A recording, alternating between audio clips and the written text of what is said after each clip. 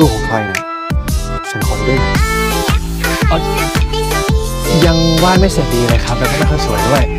ไม่เป็นไรหรอก ฉันคงเจอไม่ควรรู้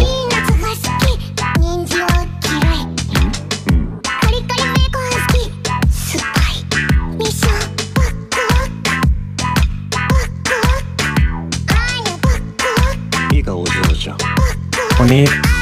คุณใหญ่ตื่นเช้าจังเลยนะครับ ต้องดูแลจัดการชีวิตตัวเองให้ได้ เพราะคงไม่มีใครมาดูแลตลอดไป